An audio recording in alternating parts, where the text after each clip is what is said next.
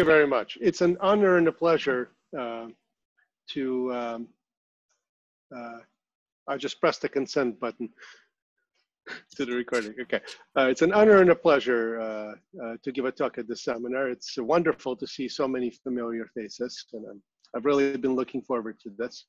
So I'll talk about point configurations and frame theory. So I'll give you an overview of the connections between the study of point configurations and certain problems in frame theory. And I'll also uh, state and give you sketches of proofs of some fairly recent results. So first of all, I would like to uh, dedicate this talk to the memory of Jean Bourgain. He's been gone for a year and a half now, and uh, it would be impossible for me to describe in an hour or two hours or even 10 hours the impact that he's had on my work and how I think about mathematics. Um, okay, so let's begin. So as we all know, so one of the oldest problems and most far-reaching problems of modern mathematics is the question of expanding function into linear combinations of sines and cosines. And uh, a while back, I found this absolutely wonderful quote by Bruce Hood, who is a clinical psychologist. He said that Fourier's theorem has all the simplicity and yet more power than other familiar um, explanations in science. Stated simply, complex pattern, whether in time and space, can be described as a series of overlapping sine waves and multiple frequencies and uh, various amplitudes. What I find wonderful about this quote is not only is it a um, uh, is it a great tribute to what uh, what many of us do from someone from a different area, but um, I also find wonderful that the things that get brushed under the rug, in other words, whether it is actually possible to express everything as an overlapping sum of sines, sine waves, is uh, encompasses probably 90% of my work. So I think that this quote is wonderful, both in terms of what it covers and what it doesn't cover. Anyways, um, so what are some basic questions? So given a bounded domain, omega and Rd, does L2 of omega possess an orthogonal or a Riesz exponential basis. So basis of the form e to the 2 pi i x dot lambda, where lambda is in some set capital lambda. And we shall refer to such a set as a spectrum. Uh, more generally, given a compactly supported Borel me measure mu, does L2 of mu possess an orthogonal or a Riesz uh, exponential basis or a frame of exponentials? In other words, we don't need to confine ourselves to domains in Euclidean space of positive Lebesgue measure. Okay? And in this context, a frame simply means that there exists positive constants, little c and big C, so that the sum of the Fourier coefficients squared is bounded above and below by constant multiples of the L2 norm of the function squared uh, with respect to the uh, Hilbert space under consideration. So these are the basic questions that uh, we're going to discuss. Okay, there's another interesting related question, and that is, given G in, in L2 of Rd, does there exist a discrete set capital S in R2D so that G of x minus a e to the 2 pi i x dot b, where the pairs a, b live in S, is an orthogonal or a Riesz basis or even a frame for L2 of RD, okay? Uh, so the basis or a frame above is called the Gabor basis or a frame. And it's named after Dennis Gabor, who is a Nobel laureate in physics. Um, uh, so who developed the concept um, of holography in the middle of the 20th century. Okay. And this is Dennis Gabor at some point I discovered that I can uh, find images and, uh, of various sorts on the internet and incorporate them into my lecture. And this made me very happy. So I've been doing that ever since. Okay. All right. So second, just trying to move the, okay. So orthogonal exponential basis. For a long time, the study of orthogonal exponential basis revolved around the Fuglede conjecture. And normally when people state conjectures, they write the year when it was born. But here I also uh, wrote the year when it died. It died in 2003 at the hands of Terry Tao. And I'm going to say a few more words about that later. Okay.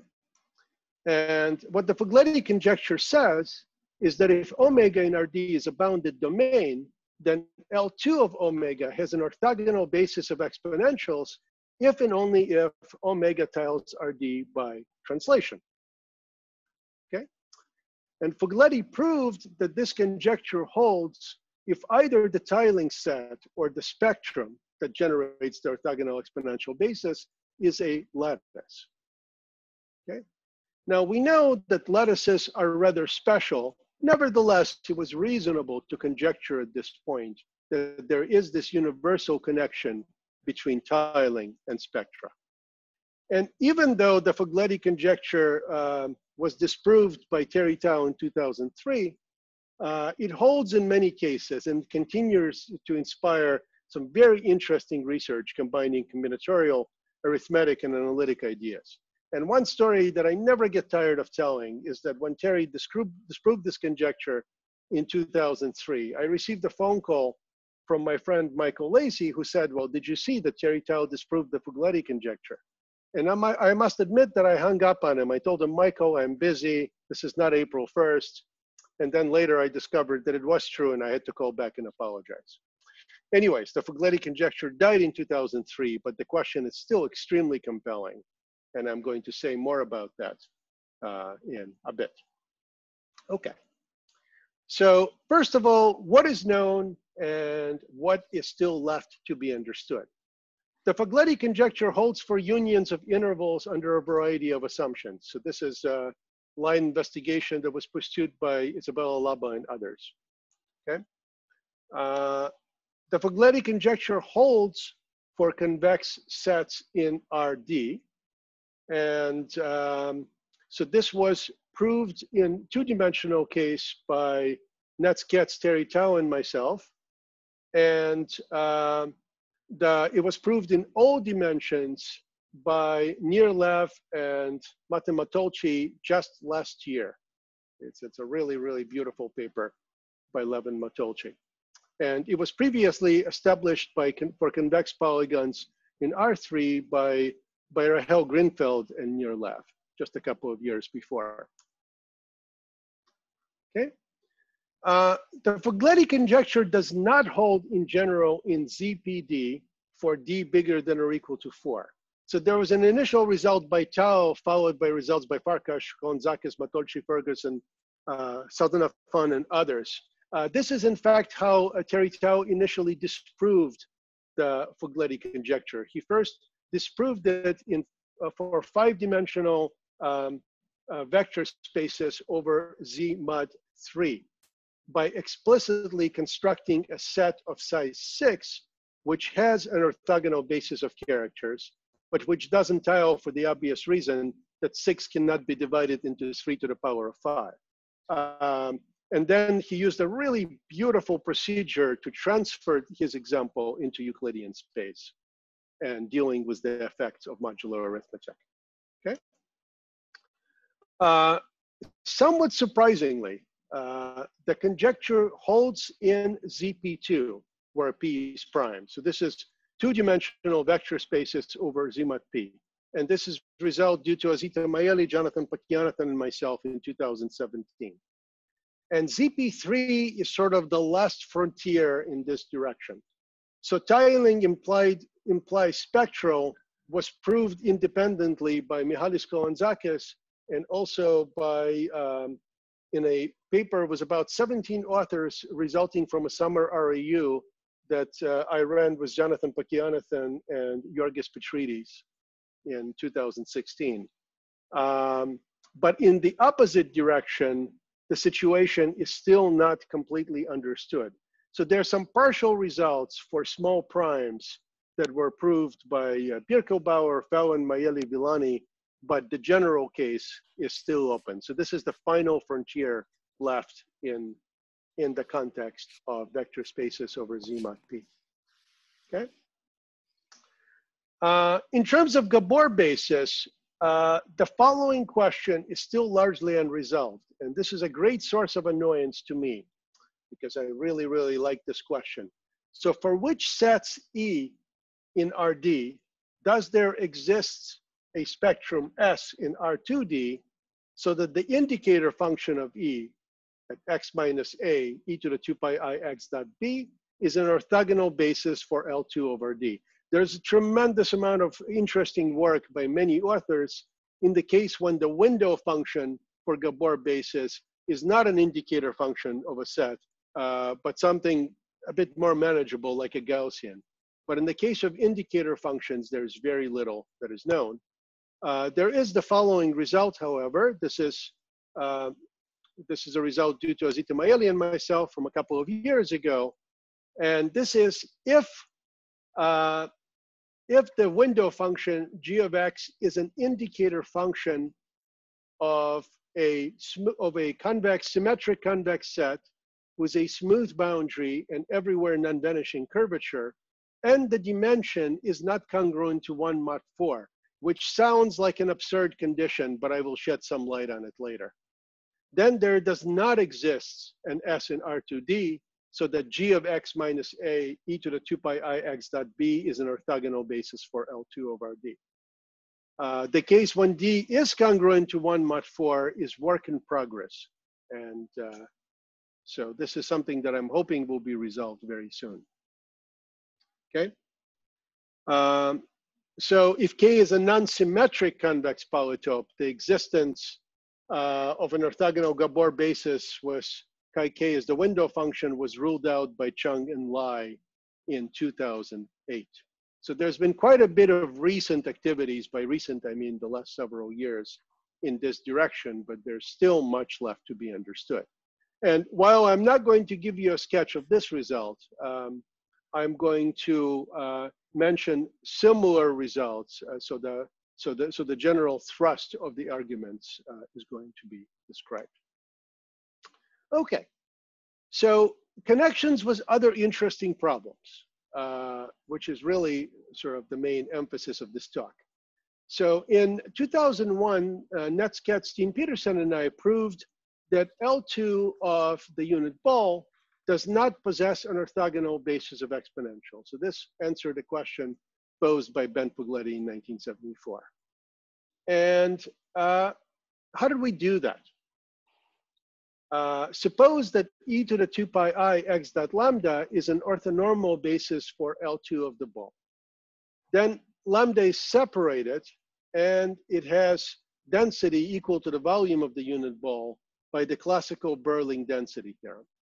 In other words, if such a set exists, it's a very nice and manageable set. So nothing terrible is going on.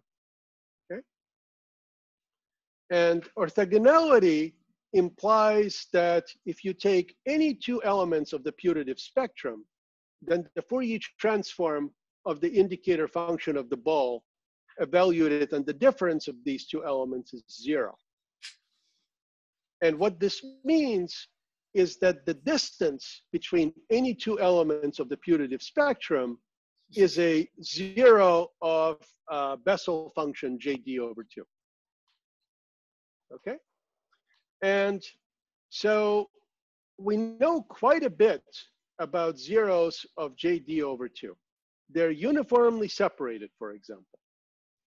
And we can use this fact to conclude that if L2 of the ball does have an orthogonal basis of exponential, the number of the elements of the spectrum inside a cube of side length r is around r to the power of d. Okay, this is just something that follows from density, while the number of distinct distances cannot possibly exceed a constant times r. This is simply because these uh, distances are zeros of the Bessel function JD over 2, okay, up to the scaling 2 pi. So we have produced this remarkable set, which has R to the D elements in D dimensions, but the number of distinct pairwise distances is bounded above by a universal constant times R.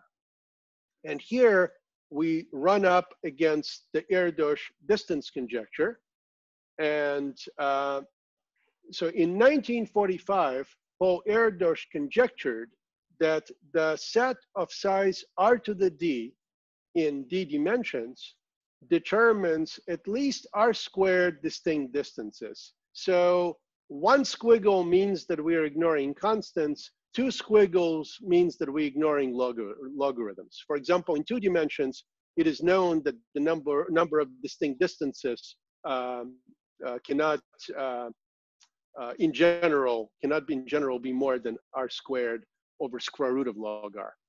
But up to logarithms, r to the d points in dimension d should determine at least r squared distinct distances. This is the conjecture.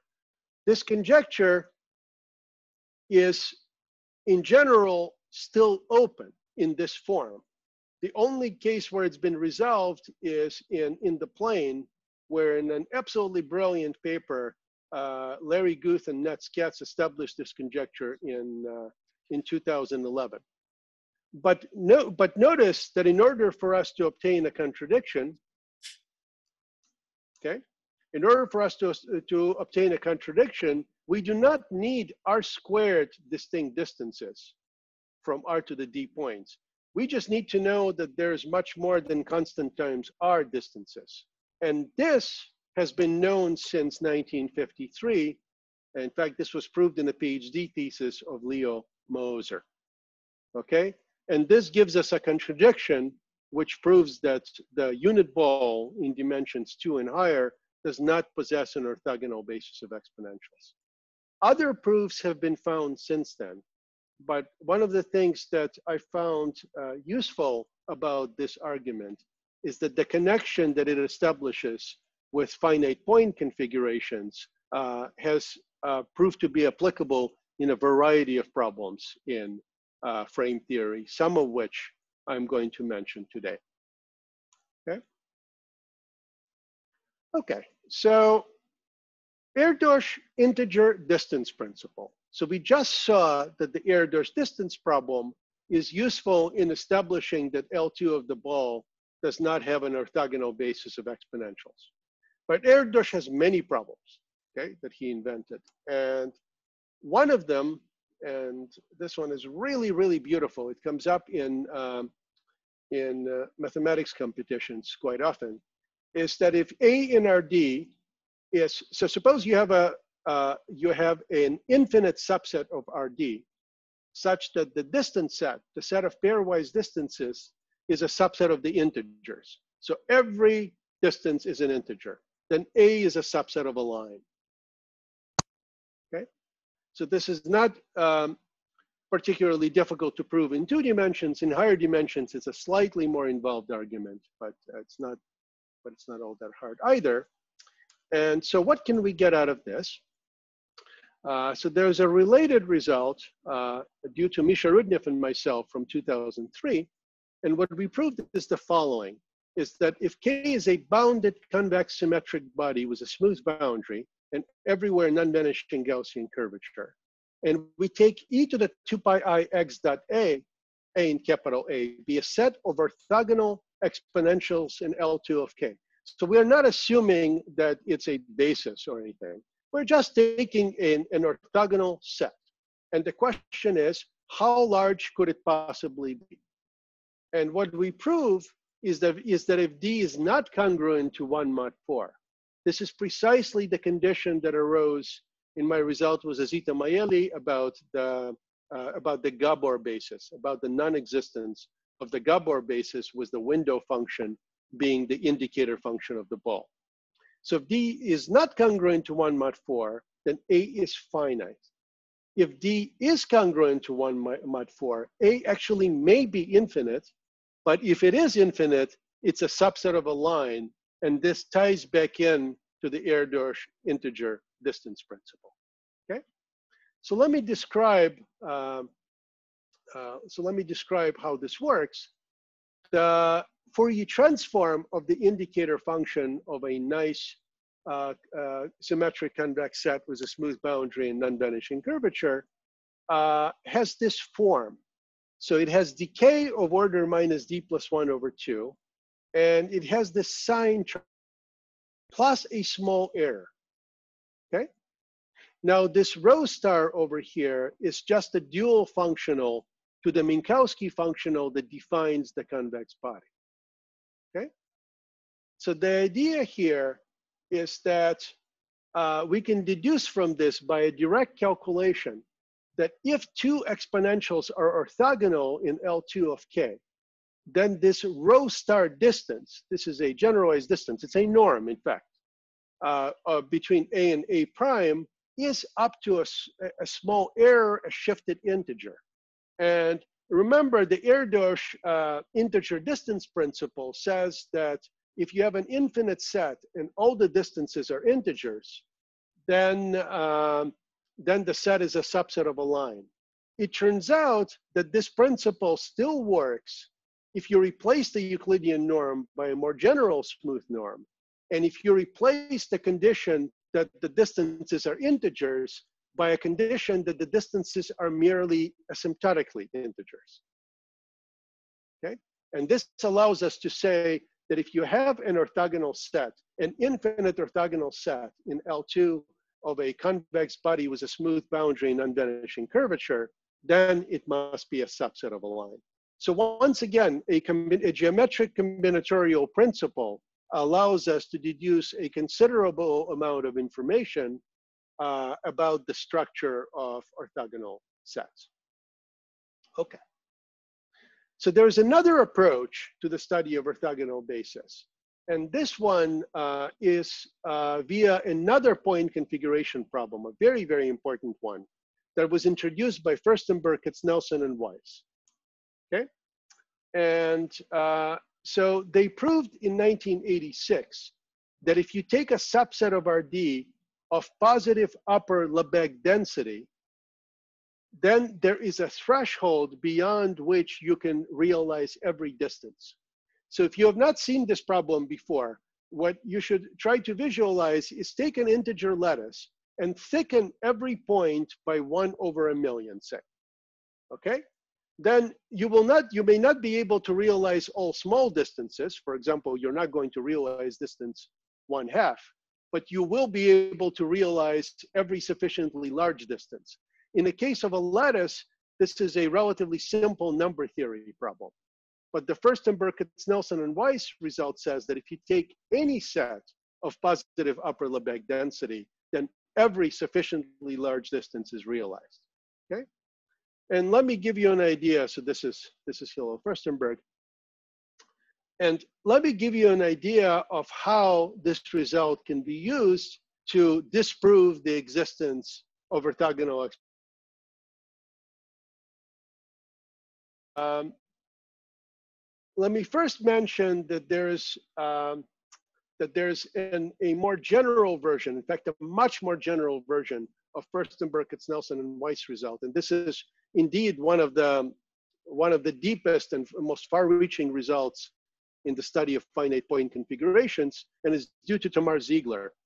And Tamar Ziegler showed that if you take a set of uh, positive upper Lebesgue density and you take its delta neighborhood, then inside this set, you can realize a dilate of any k-point configuration, okay, regardless of the size of k. And um, there's some work in progress currently to exploit this result in the context of frame theory. I'm not going to say anything about it today, but I hope to be able to say something in the near future. Uh, this result by Ziegler, um, it should be noted, as a special case, implies the celebrated Szemerédi theorem uh, about uh, arithmetic progressions of arbitrary length in subsets of the integers of positive density. Okay, so this is really perhaps the most uh, general result available in this, uh, on this subject matter. All right. So let's see how the how the Furstenberg Nelson Weiss Ziegler problem applies to uh, the results we're talking about.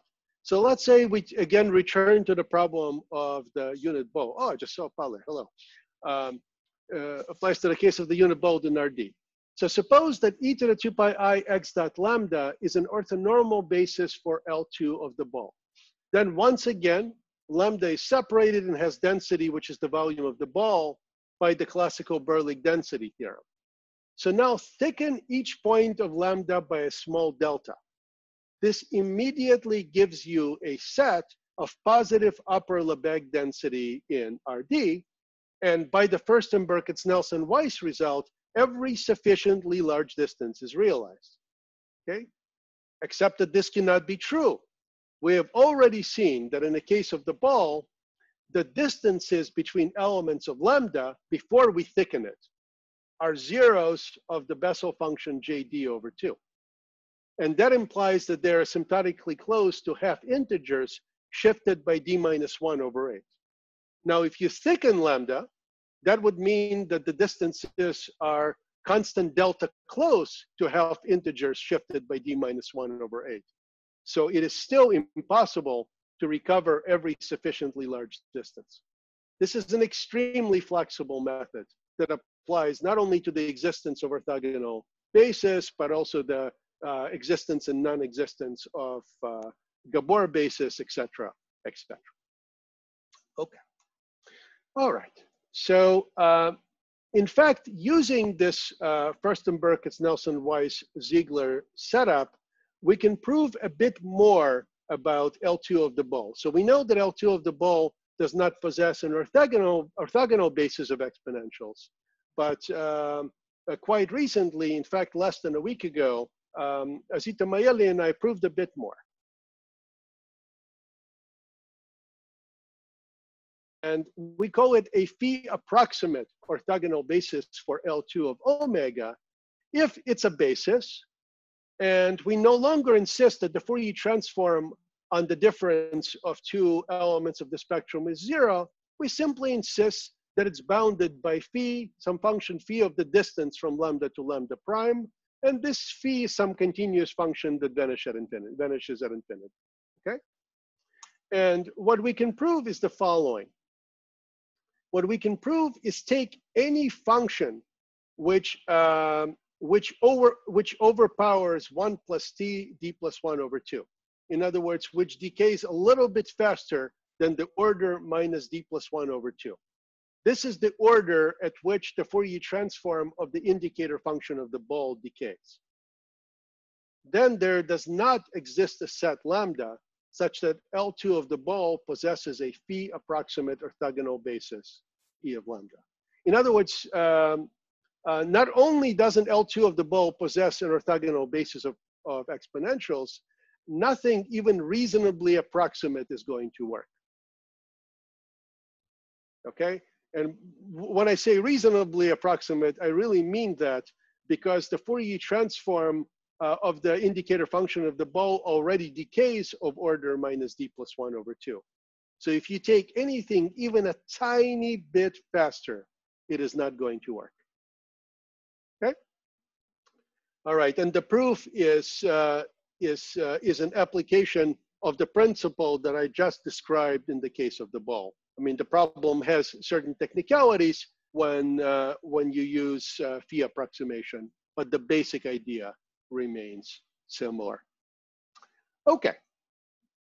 Uh, so what I would like to do for the uh, remainder of the talk is to describe some results that are related uh, to my ongoing and largely unsuccessful efforts to prove that, that um, L2 of the ball does not possess a Riesz basis of exponentials. I'm never going to stop working on this problem and uh, I do not care how many times I fail, I'm going to keep trying. Okay, so this problem was posed probably in the 70s, and to the best of my knowledge, there's been essentially no progress, though I'm going to report some results which I feel are suggestive.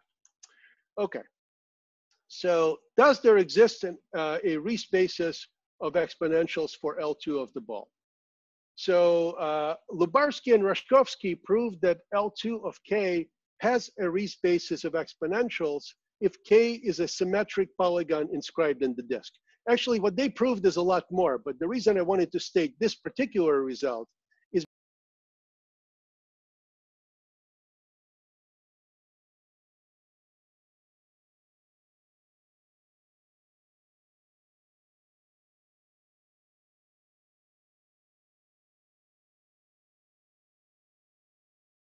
shows that these perturbation methods are destined to fail because you can take a polygon, however large, inscribed in the disk, and it has every spaces of exponentials. Okay, so uh, as a contrast, in for example, in 2D, uh, Tao and I proved uh, that uh, if k in R2 is convex, then L2 of k has an orthogonal basis of exponentials if and only if k is a square or a hexagon. This to me, I think is an excellent indication that the Riesz basis problem is just much, much harder. Okay, and another result that really, I don't know how to say it, whether it blows my mind or just annoys me, but there are no known examples of sets E of positive Lebesgue measure such that L2 of E does not possess a Riesz basis of exponentials. And what this does is that this is psychologically difficult because it creates a situation where we could wake up one day and find out that every set has, an, has a, a Riesz basis of exponentials. I don't believe that this is true, but until somebody finds a counterexample, this is always going to be this nagging fear in the back of my mind. And so let me, as a build up to the um, uh, to the results uh, to the to the results I'm going to uh, discuss today. Uh, let me remind you of the Kadison-Singer conjecture. So this was uh, formulated in the last 1950s, and and it arose out of Paul Dirac's work on foundation of quantum mechanics in 1940s. Okay, this is Kedison and Singer. Um,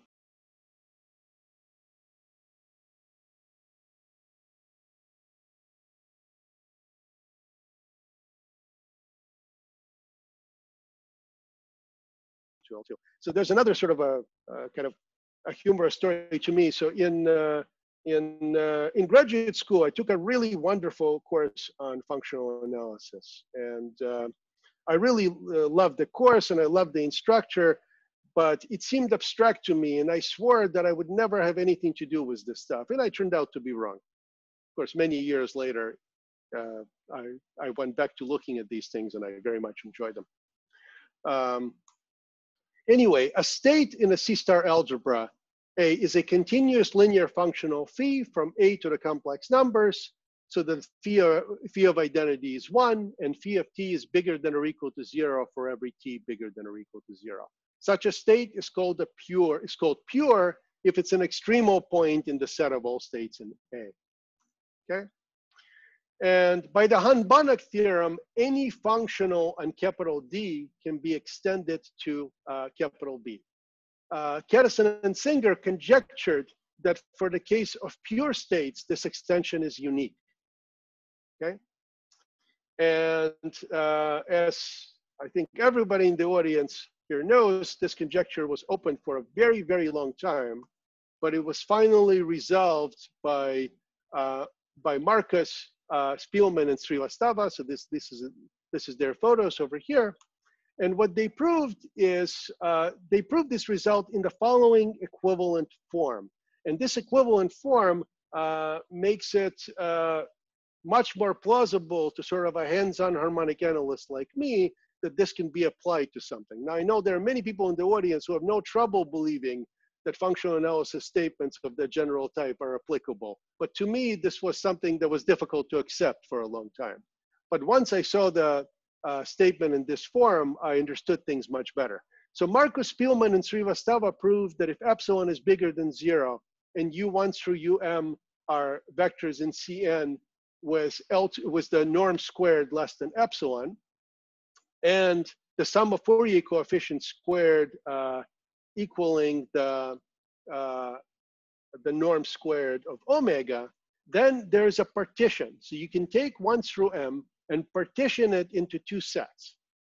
So that if you sum the Fourier coefficients over each partition, it doesn't equal to the, the norm of omega squared, but it's bounded by a constant 1 plus square root of 2 epsilon squared over 2 times the L2 norm of omega square, okay?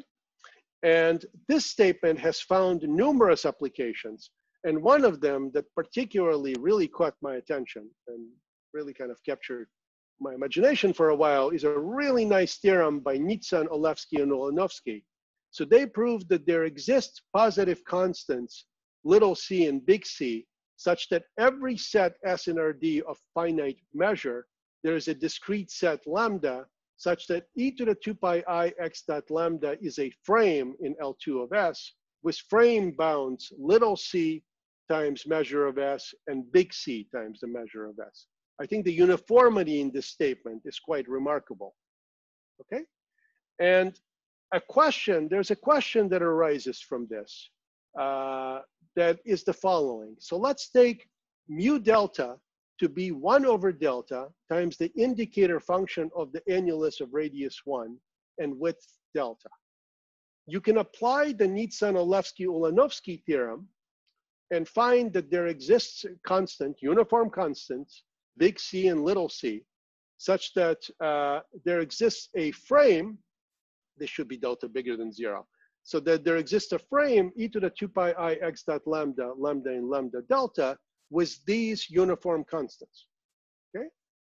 And here's the question, what happens if you let delta go to zero? Now, I'm not saying that we are allowed to let delta go to zero, we're certainly not. But there's temptation to take delta go to zero and obtain a measure on a sphere. Okay, so is it true that uh, that L2 of sigma possesses a frame of exponentials, not a basis, just a frame of exponentials? And this is a question that was posed by Nir Lev a few years ago, and he pointed out that if you take a piece of a sphere, let's say above the equator, then by very simple projection methods, you can show that, of course, the measure has a frame of exponentials. But if you take a whole sphere, uh, this uh, appeared to be a very different question. And it was recently resolved uh, by um, Lai, Liu, Wyman, and myself. And what we proved is that the Hilbert space L2 of sigma does not possess a frame of exponentials.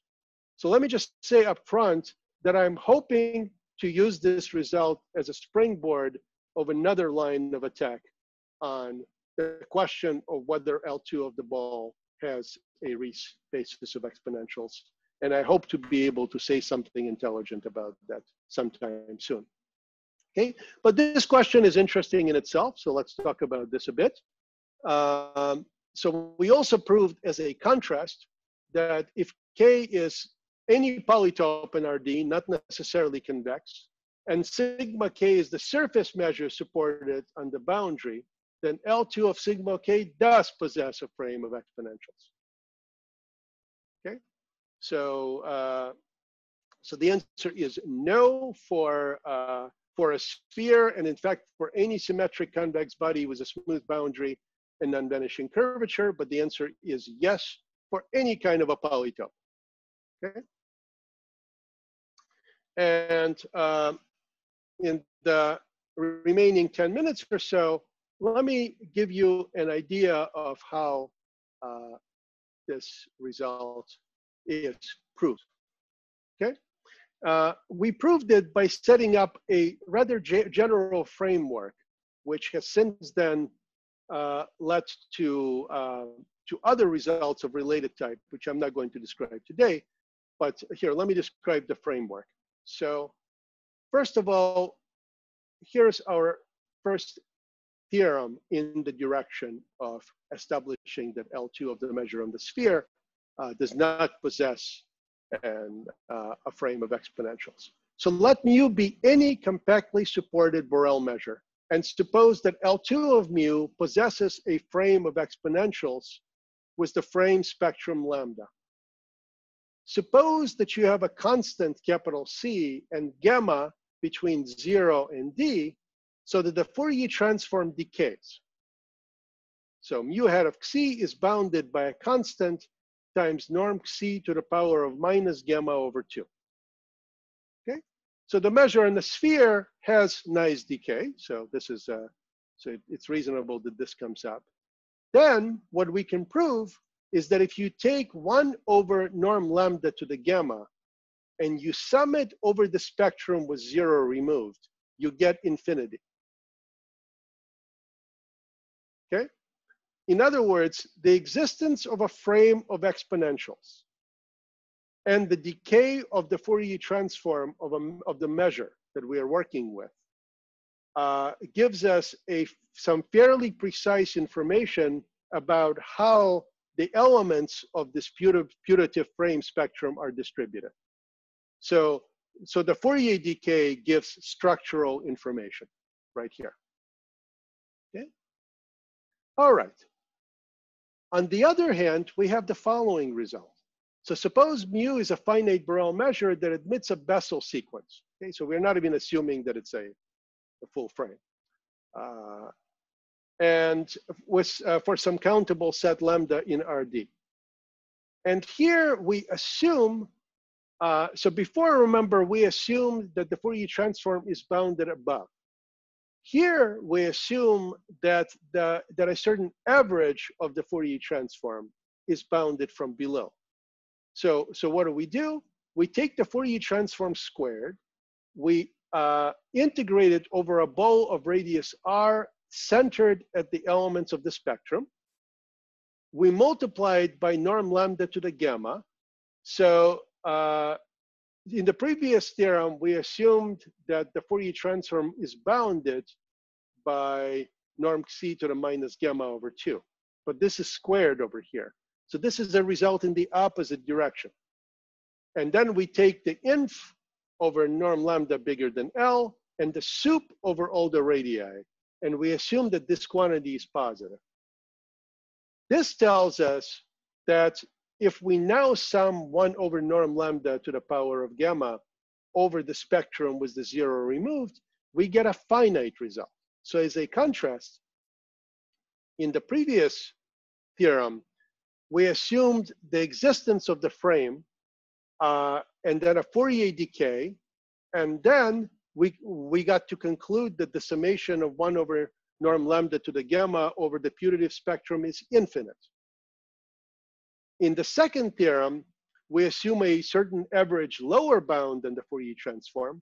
And this tells us that the summation of 1 over norm lambda to the gamma is finite. Obviously, both of these cannot hold. And the result about the sphere is uh, obtained that the assumptions of the two theorems above are satisfied uh, if gamma is equal to d minus 1 over 2. In the first result, we simply use the well-known decay properties of the Fourier transform of the measure and the sphere.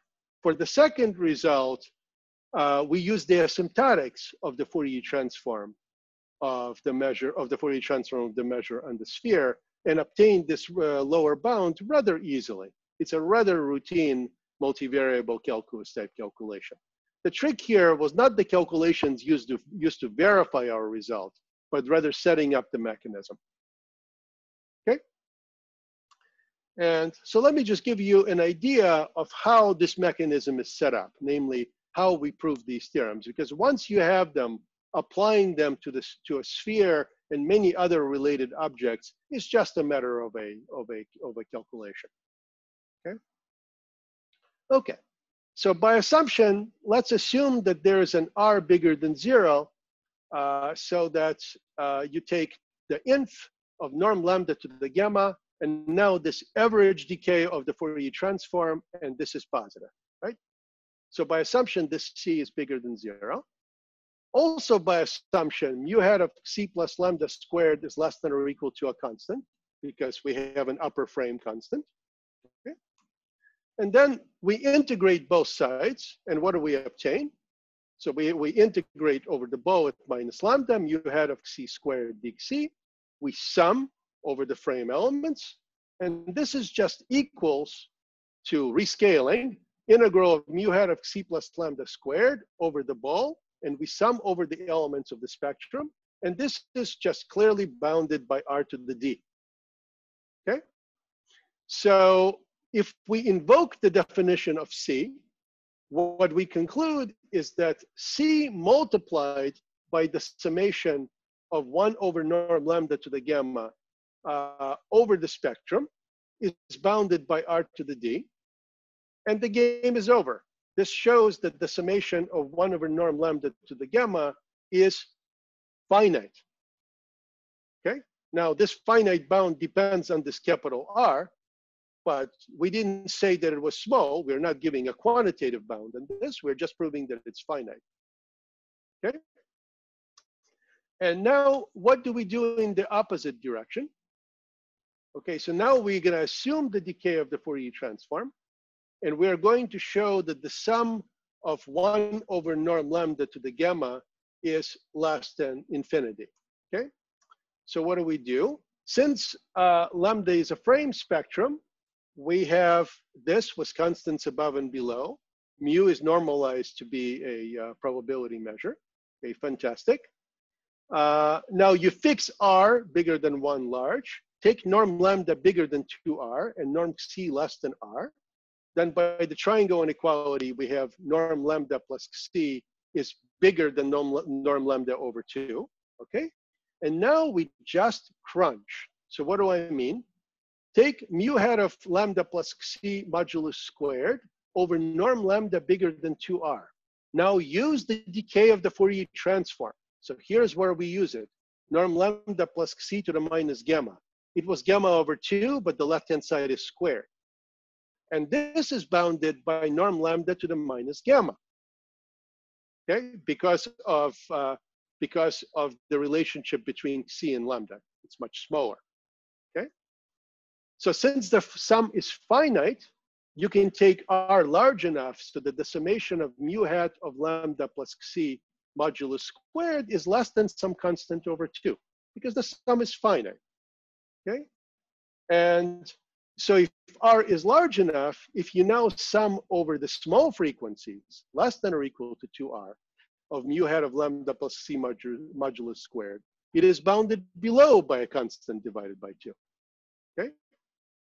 And so then what happens is we simply integrate this inequality over the ball of radius r. And what we obtain is that r to the d, by going through the intermediate steps that we just went through, is bounded by the number of elements of lambda in the ball of radius 2r centered at the origin times the integral of mu hat of c squared over this ball of radius 3r. Okay? And now we apply the Fourier decay condition again and we bound this integral of mu hat of c squared over the large ball. by r to the d minus gamma, if gamma is smaller than, this is the range that's relevant to us. And log r, if gamma is equal to d, this is interesting, but not for the problem we are discussing, okay? And from this, we conclude that the number of elements of lambda in a bowl of radius 2r is bounded from below by r to the power of gamma if gamma is smaller than d. So now this is just calculus. Okay, so why is this just calculus? The condition follows. So the claim is that if the number of elements of the spectrum in the bowl of radius 2r is bigger than or equal to r to the power of gamma, then there is no way summation of 1 over norm lambda to the power of gamma uh, is, uh, uh, is summable. The sum will have to be infinite. In other words, this is true for exactly the same reason that the integral of 1 over norm x to the d in d-dimensional space diverges. It just misses by a logarithm because the density is just off. And this establishes the result. So let me go back for a very quick summary. The result uh, that the L2 of the sphere or, or of, of, a boundary of any smooth convex body with non-vanishing curvature does not possess a frame of exponentials is obtained by showing that the Fourier condition uh, and the frame property uh, imply that the imply that the summation of one over norm lambda to the gamma is infinite, which says in some ways that the spectrum is, frame spectrum is large, okay? And at the same time, proving that, uh, that the lower, uh, that the lower bound on average Fourier decay also holds, which allows us to prove that in some sense the, uh, the frame spectrum is small and the resulting contradiction establishes the result. As I mentioned before, what I'm hoping what I'm hoping to do eventually is to understand the connection between this result and the existence of the exponential Riesz uh, basis on the ball. And uh, so, as I said, I hope to be able to say something about that in the future. I think I'm going to stop here.